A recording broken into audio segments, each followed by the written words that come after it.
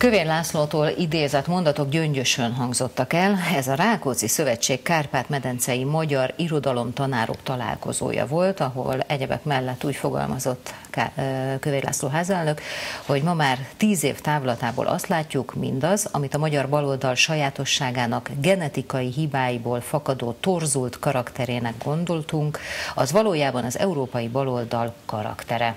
Tehát, hogy azt gondoltuk, hogy genetikai torzulás, de egyébként ez az európai baloldal karaktere. Ez az egész így, ahogy van. De azt hiszem inkább nem értelmezem tovább ezeket a mondatokat, mert csak belebonyolódok. Hiller István a vendégem, jó estét kívánok. Mit szól ehhez? Nem tűnik túl kedvesnek a megjegyzés, még így sem, hogy eddig gondoltuk, hogy önök torzult balosok, de most már tudjuk, hogy ilyen az egész európai bal.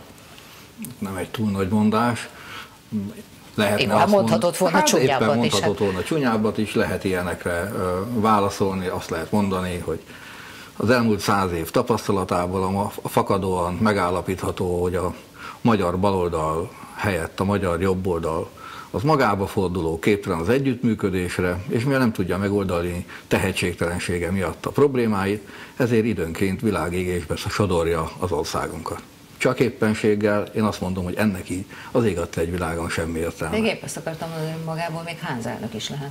Hát a karrier lehetősége persze. Na de komolyra fordítva, én tényleg azt gondolom, hogy azon kívül, hogy néhány politikus próbálja itt egymást szórakoztatni, ebből már mindenkinek elege van, és nem is akarok reagálni komoly mondattal. Azért nem akarok reagálni, mert éppen abban látom például a saját pártomnak és a magyar baloldal előrelépésének a lehetőségét, hogy nem azon a térfélen és nem azon a pályán játszunk, amit nekünk kijelölnek. Miért kellene nekem Kövér László vagy bármelyik Fideszes elmondott mondatára reagálnom? Miért kellene azt mondanom, hogyha ők azt mondják, gyertek kosárlabdázni, akkor én ezerrel elkezdek egy kosárlabdával edzeni. Hát nem. Megvan a saját véleményem, megvan a saját elképzelésem és hitem, és a társaimnak is. Nem reagálni kell. A magyar baloldal, hogyha elfogadja azt, hogy a jobb oldal térfelén játszik, hogy ők mondanak egy mondatot tusványoson, vagy egerbe, vagy bárhol éppen, ahol alkalmuk van, akkor mi rohanunk, és egy válaszmondatot próbálunk kiizzadni hát magunkból. Hát ez a politikának a része, nem? Úgy van, legalábbis a kisebbik része, főleg annak, aki örök életében ellenzéki akar maradni.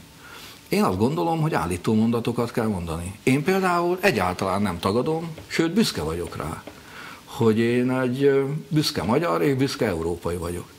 Nem vagyok hajlandó azt letagadni, hogy én nekem ez a hazám, de otthonosan érzem magam Bécsbe és Rómába, és szeretek Münchenbe, vagy éppen ha lehetőségem van rá, Strasbourgban sétálni, dolgozni, konferenciájára járni, beszélgetni a külföldi barátaimmal. De is arra utalt egyébként. De igen, arra utal, Viktor, arra utal. Senki nem menjen sehova. Ebben a gondolkodásmódban az van, igazából mi ezt az egész uniósdit úgy utáljuk, ahogy van, csak adjátok a pénzt. Én meg ebbe a gondolatmenetbe nem vagyok hajlandó belehelyezkedni. Az én irodámban nagyon jó barátságban áll egymás mellett a Magyar Nemzeti Lobogó és az Unió zászló. Valószínűleg az országgyűlés tisztségviselői közül talán én vagyok az egyetlen, akinek így együtt van ez a két zászló az irodájába, de addig, amíg abban a szobában én vagyok az úr, addig onnan ki nem viszik. Nem válaszolni, nem reagálni, nem megsértődni, nem vállat húzogatni kell hanem a saját véleményünket vállalni. Kell, hogy legyen vélemény, de ez a vélemény, ez nem egy reagálás. Én nem azért vagyok magyar baloldali, mert hogy kormányon vagy ellenzékben vagyok, hanem mert így gondolkodom. És nem úgy működik az én agyam és hitvallásom, hogy most a miniszterelnök vagy a házelnök mit mond, és akkor ennek megfelelően így csavarom, meg úgy csavarom, próbálok kibújni, nehogy eltaláljanak, vagy éppen Putyilov gyári munkásként odaállok, széthúzom az ingemet, és azt mondom, hogy ide lőjetek. Ennek az szokott lenni a vége, hogy oda lőnek. Hősi halottakra meg nincsen szükség véleményre állító mondatokra van szükség, és akkor a magyar baloldal, igenis ez szellemi munka és teljesítmény, akkor tud híveket és választókat vonzani, mert én azt állítom, hogy nagyon-nagyon sokan vagyunk ebben az országban, akik nem úgy gondolkodnak, hogy bezárkózva, együttműködésre képtelenül, csak úgy magunkba, jókat panaszkodva a mi sorsunkról, a világot meg szörnyülködve nézve, megoldjuk a problémáinkat. Igen, Együttműködésben csak, csak tudja, hogy ez is egy csapdapolitika, tehát ez a felelget, ö, csapdahelyzet, ez a felelgetős politika, amikor mondjuk Kövér László mond egy csúnyát a baloldalra, vagy Orbán Viktor mond valamit a baloldalról, és hogyha erre önök nem reagálnak, nem mondják el a véleményüket, akkor meg Így marad igaz. az állítás. Hogy Így igaz, hallottad? én csak azt hát mondom. Pont az Orbán is arról beszélt, hogy ezek utálják a magyarokat és magyar ellenesek, akkor marad ez az állítás. Igaz van, szerkesztőasszony, abban az esetben nem, hogyha kizárólag egy reagálás a vélemény. Nem is így van, mert nem is olyanok vagyunk. Hanem? Én azt mondom, hogy egy Akkor ilyen mondatra, vagy függ, teljesen függetlenül attól, hogy mit mond, és hogyha nem mond semmit, akkor is van véleményem. Nem attól van nekem értem, véleményem. De mi lehet erre a jó reagálás ön szerint? Tehát például arra, amit Orbán Viktor mondott, hogy a, a baloldal egy... nem szereti a magyarokat, erre mi a jó reagálás? Büszke magyar és büszke európai vagyok. Te büszke vagy-e arra, hogy európai vagy? Vagy csak a pénzt akarod? Az irodádba szívesen nézed-e, szívesen teszed-e ki, miközben fogadod a baloldali olasz miniszterelnököt, a baloldali osztrák kancellárt, aki egyébként nem annyira jön Magyarországra, vagy éppenséggel azt a német kancellárasszonyt, akinek, hogyha egy német jobboldali ezt mondja Willy Brandtra, akkor az kikéri magának vagy azt a jobboldali francia sárközét. Mit teszel ki szívesen az irodádban? Hát, hogy együtt a nemzeti zászlót az ja, Európai Unió mondta, zászlóval. Hogy hát azért vagyok büszke magyar és büszke európai, Értem. mert együtt vallom ezt a kettőt. Hogy én, az én magyarságom elválaszthatatlan az európai ságomtól, és nem is gondolom, hogy Európa nem akarja, hogy a magyarok Magyarországa része legyen. Az egy más kérdés, hogy az éppen regnáló hatalom az a kezét nyújtja és pénzt akar Brüsszelből, de ezeket a közösségeket egyébként nem vállalja. Hát nem. Nem tudom, hogy látta a tegnapi egyenes beszédet. Török Gábornak volt egy érdekes eszmefuttatása arról, hogy vajon miért is mond időről időre mondjuk Orbán Viktor miniszterelnök ilyen típusú megjegyzéseket a baloldalról, európairól, magyar baloldalról, ő azt mondta, hogy gyakorlatilag neki kell az ellenségkép, tehát mint önök lennének a vudubábuk. Tehát, hogyha a baloldal gyenge, erőtlen, csökken a népszerűsége, akkor Orbán Viktornak nincs kit legyőznie. Nyilván nem a jobbikot kezdi el piszkálni, mert hogy az egy keményebb dió lenne így a közvéleménykutatási adatok szerint. Tehát, egy kicsit felpiszkálom a baloldalt, mert akkor utána meg tudom mutatni, hogy na őket legyőztem ismét. Mit gondol erről? Arra, hogy töröknek abba igaza van, hogy a jobboldalnak és az elmúlt 25 év jobboldalának Magyarországon általában az ellenségkép áll a gondolkodása központjába, és egy ellenségkép kell ahhoz, hogy a saját véleményét kifejtse. A politika elnépszerűtlenedése Magyarországon az többek között abból fakad, hogy nem állító mondatok állnak egymással, hogy a politika legyalulta például a programok jelentőségét, azt üzeni a választóknak, hogy ne is foglalkozzál azzal, hogy én mit akarok. Nem is mondom el a terveimet, te ne is nagyon kérdezd, hanem mit vagyok, azt majd valahogy lesz. De el tudja képzelni, hogy önök szocialisták valóban egy legyőzhető bábúnak kellenek csak a miniszterelnöknek? Nem, én, én azt is látom benne persze, hogy tudja, hogy különböző formációban, de a magyar baloldal ütőképes lehet, következésképpen inkább előrelő azt sejteti, hogy akkor, hogyha valóban élesre kerül a, a harc, akkor a baloldal az ellenfél. Ezzel persze azt is üzeni, hogy a jobb oldal, vagy a, a szélső jobb oldal, az, az kevésbé kell, vagy kevésbé kell verni, nem akarja annyira támadni.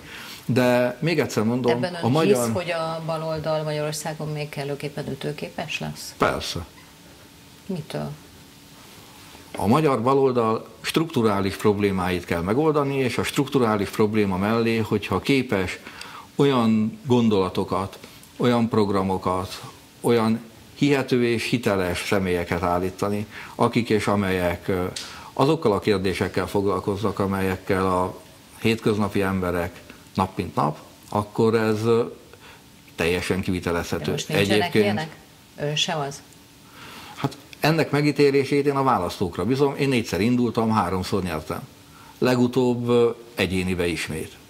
A hitelességet nem maga töltse ki az ember egy papíron, hanem a politikusról a választók mondják meg. Aki egyénit nyert, az azt gondolom, hogy nem Jó, tekinthető hiteltelennek. Kellene még több is. Korrekt. És őt, őket honnan?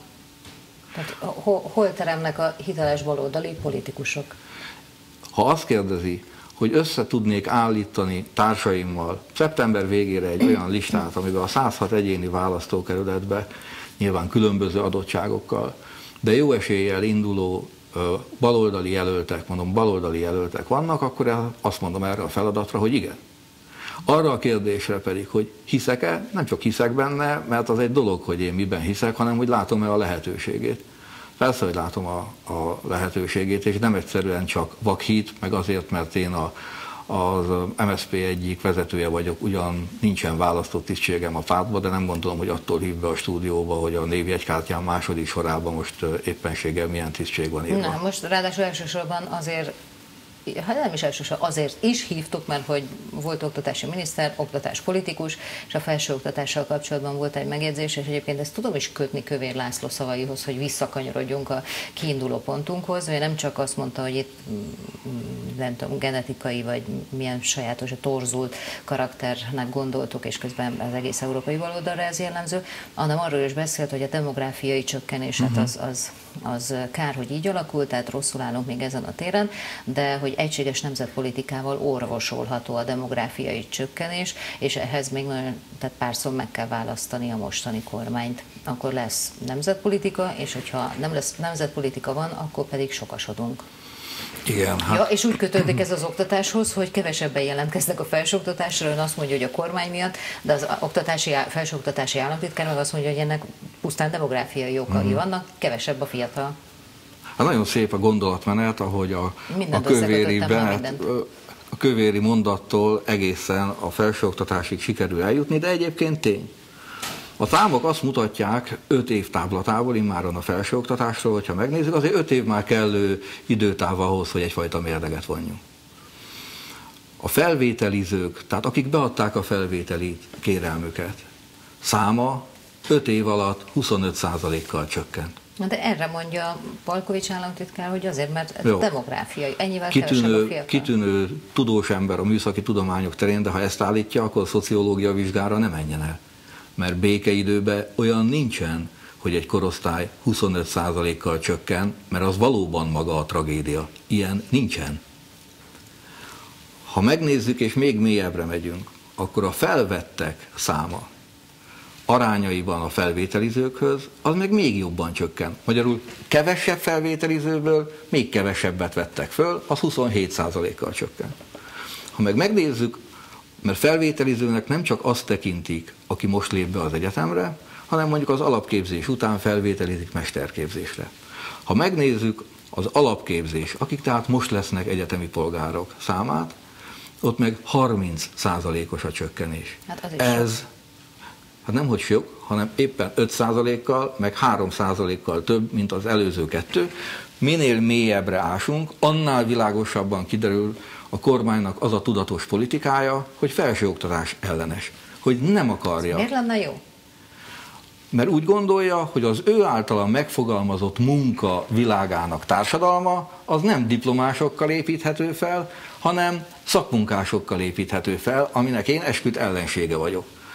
Helyes, hogyha egy országnak színvonalas szakképzése van, de hogyha a politika a diplomások kárára, az egyetemisták kárára akarja a szakképzést előtérbe helyezni, akkor abból szerencsétlenség, bukás és egy teljes generáció versenyképtelensége lesz. Na ez a probléma.